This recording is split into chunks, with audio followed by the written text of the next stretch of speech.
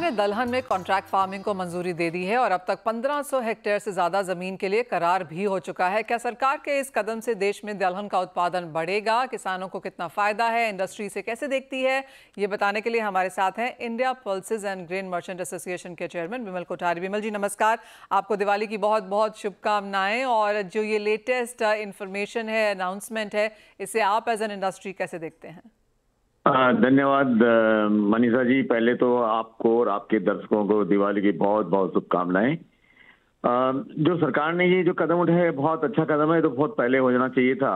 In fact अगर आप देखें तो हमारा जो फार्म बिल विड्रॉ हुआ था, उसमें कॉन्ट्रैक्ट फ़ार्मिंग का प्रावधान था, लेकिन दुर्भाग्यवश सरकार को उसको विड्रॉ करना पड़ा।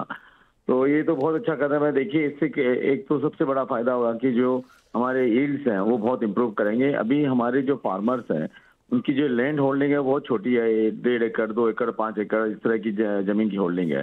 तो उसमें मैकेनाइज फ़ार्मिंग नहीं हो सकती। आज एक कॉन्ट्रैक्ट फ़ार्मिंग करें और इसके अंदर में अगर वो मैकेनाइज फ़ार्मिंग करें और सीड एक क्वालिटी सीड को यूज़ करें तो मैं समझता हूँ जो ईल्ड्स हैं, वो काफ़ी काफ़ी ज़्यादा, मात्रा में बढ़ सकते हैं।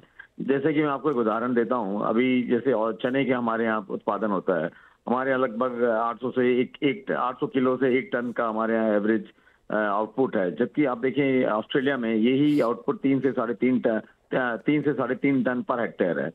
तो हमारे यहाँ इल्ड जो अगर आप देखें वर्ल्ड कंपैरिजन में वो बहुत कम है। कनाडा में येलो पीज में जो उत्पादन कम से कम तीन से चार टन पर हेक्टेयर होता है, जबकि हमारे यहाँ एक टन पर हेक्टेयर होता है।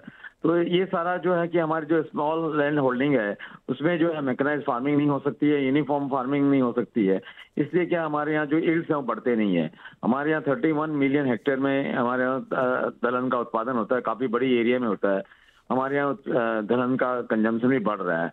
ये एक बहुत अच्छा कदम है। इससे हमारे जब इर्द बढ़ेंगे तो हमारा उत्पादन भी बढ़ेगा और हम एक आत्मनिर्भरता की तरफ़ बढ़ेंगे। इसमें, इस कदम से एक तो किसानों को भी बहुत अच्छा फ़ायदा होगा, क्योंकि जब ईल्ड बढ़ेंगे तो उनको अपनी क्रॉप का जो है, उनको अच्छा मुआवजा मिलेगा अच्छा फ़ायदा होगा उनको। और जो क्वालिटी है वो भी बहुत यूनिफॉर्म और कांस्टेंट होगी। तो मैं समझता हूँ ये बहुत अच्छा कदम है। ये अभी एनसीसी अपने इस पे इसको अंडरटेक किया, है। मैं समझता हूँ सरकार को इसको प्राइवेट सेक्टर में भी अलाउ करना चाहिए। और इसे बड़े रूप में हमारे देश में सिर्फ़ दालों में नहीं सभी जो सभी जो क्रॉप्स हैं उनके लिए कॉन्ट्रैक्ट फ़ार्मिंग का प्रावधान होना चाहिए। हम्म, विमल जी कब तक कितना आप इसे शुरू होता हुआ देखते हैं? और जैसे आपने कहा बहुत फ्रेगमेंटेड लैंड है यहाँ पर मैकेनाइजेशन यूनिफॉर्म फ़ार्मिंग एक एनीवेज एक चिंता है। तो in that sense contract farming किस तरह से ऑन ग्राउंड इसे चेंज कर सकती है? देखिए इसमें जो अभी सरकार ने जो एफपीओ बनाए हैं उनसे मिलकर किसानों के साथ मिलकर एक पूल बनाया जाए और उसमें एक बड़ी लैंड होल्डिंग को साथ में मिलाया जाए और फिर उसमें कॉन्ट्रैक्ट फ़ार्मिंग की जाए और उसमें मैकेनाइज फ़ार्मिंग होनी चाहिए। और हालाँकि ये जो शुरुआत हुई है इसमें थोड़ा देखिए शुरुआत में काफ़ी टीचिंग प्रॉब्लम आएगी लेकिन मैं समझता हूँ धीरे धीरे जब किसानों को भी इसमें फ़ायदा मिलने लगेगा तो वो भी इसमें जुड़ना चाहेंगे। तो हम्म। मैं समझता हूँ ये कि विन विन सिचुएशन होगी सर सभी के लिए इंडस्ट्री के लिए भी किसानों के लिए भी सरकार के लिए भी। विमल जी, एक फाइनल सवाल और कैसे देखते हैं आप? एज ऑफ़ नाउ जिस तरह की अवेलेबिलिटी है दालों को लेकर और हमने प्राइसेस में एक स्टेबिलिटी आते हुए देखी है, हमने मिनिस्ट्री की तरफ़ से भी वो रिपोर्ट्स लगातार बनते हुए देखी हैं कि होलसेल में गिरावट है रिटेल में उतनी ज़्यादा नहीं है बट फेस्टिवल की डिमांड को अगर देखें अवेलेबिलिटी को देखें प्राइसेस को देखें तो आपकी क्या सेंस है? मनीषा जी, मैं बता दूँ दालों में अब उपलब्धता का कोई इशू नहीं है प्राइसेस काफ़ी कम हो चुके हैं। तुअर के जो हमें कंसर्न थे लास्ट दो साल से, उसमें काफ़ी चालीस रुपया किलो की उसमें मंदी आ चुकी है लास्ट डेढ़ दो महीने में।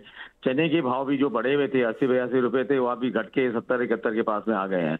तो दालों में अगर आप देखेंगे, और आगे की जो चने की वेराइबल्स है, उसमें जो फॉरवर्ड के जो सौदे हो रहे हैं, वो sixty three sixty four rupees में हो रहे हैं।